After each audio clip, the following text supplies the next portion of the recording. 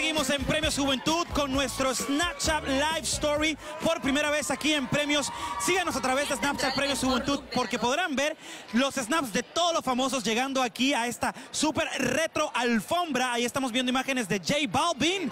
In just a matter of minutes, though, uh, Peter Thiel, a, uh, Silicon Valley uh, billionaire, one of the early, uh, I guess, founders of, of Facebook, PayPal, uh, is going to be speaking. He is the only the second openly gay uh, man ever to address a Republican convention. Donald Trump, the Republican presidential nominee, and he's got a very lengthy speech he's going to be delivering. You see the podium there.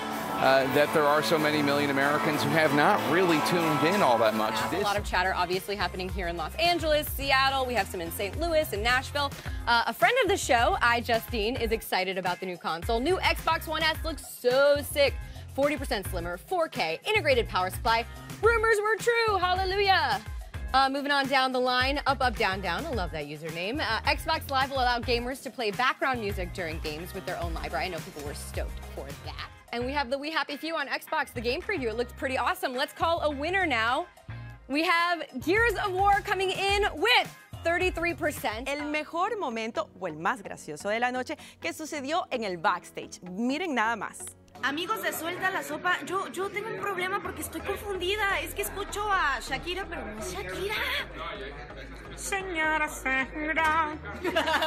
Está claro que esta super serie será el trending topic de nuestras noches. Springs. Take a look at some of the uh, pictures and video out of this area. Look at the cars there inundated with that rain. That rain coming down upwards of three, four, even five inches of rain. They are dealing with some major issues down there. De las imágenes precisamente de este incendio, tanto fotografías como videos.